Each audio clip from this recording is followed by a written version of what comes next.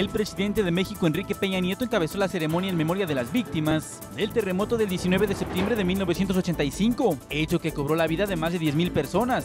Peña Nieto presenció el izamiento de bandera a media asta en señal de duelo. El mandatario afirmó que a 32 años de la tragedia, México tiene una firme cultura de prevención en materia de desastres naturales.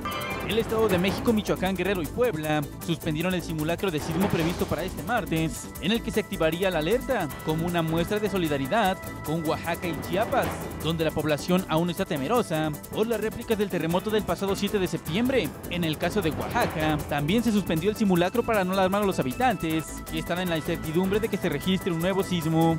Los 200.000 estudiantes de México, de comunidades afectadas por desastres naturales, como el terremoto del 7 de septiembre, o donde se registraron inundaciones, no perderán el ciclo escolar, afirmó la SEP. Para ello se presentó una estrategia para retomar las clases en comunidades donde la infraestructura educativa no está en condición de albergar a los niños, tales como trasladarlos temporalmente a otras escuelas, construir aulas provisionales o inclusive que los maestros impartan clases en fines de semana y vacaciones.